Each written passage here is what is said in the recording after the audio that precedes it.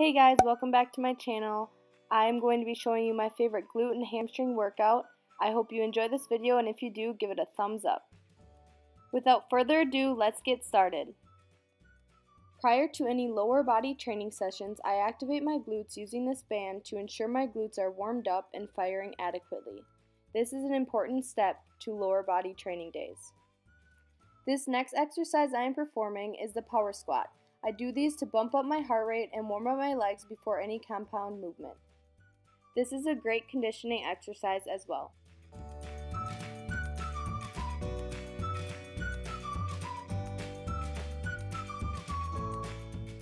Now I am performing Smith machine hip thrusters. When you perform these, make sure that you are squeezing at the top, lowering slowly, and exploding up. Please note that these clips are sped up. Next up, we have barbell pause squats. Pick a weight that you can do 10, 8, and 6 reps consecutively after 30 seconds rest in between each set. Make sure you are pausing at the bottom for 3 seconds. Do your best to get at parallel, if not below parallel, on these squats. Make sure you are squeezing your glutes all the way through the movement. Like one of my previous coaches told me, an ugly butt in the gym is a hot butt outside of the gym.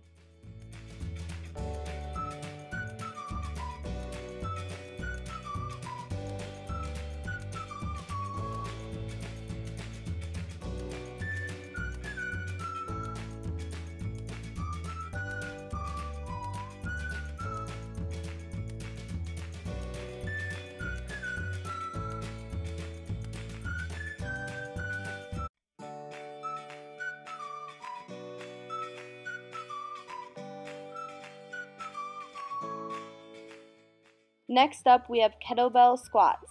Make sure you are squeezing your glutes all the way through the movement. Perform these reps slow and controlled.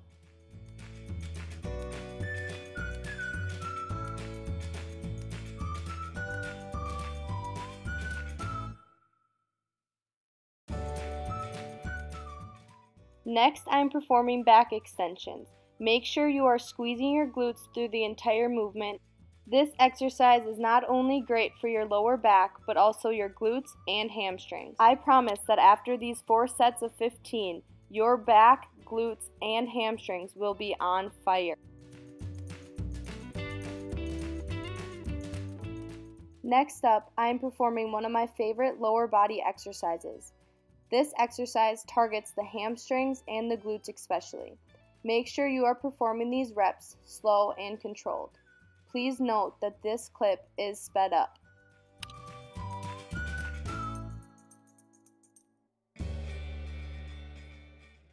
The last exercise of this workout are the Swiss ball leg curls.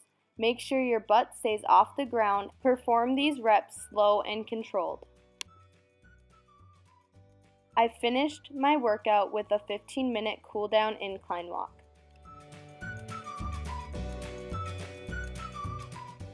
If you enjoyed this video, don't forget to subscribe and give this video a thumbs up.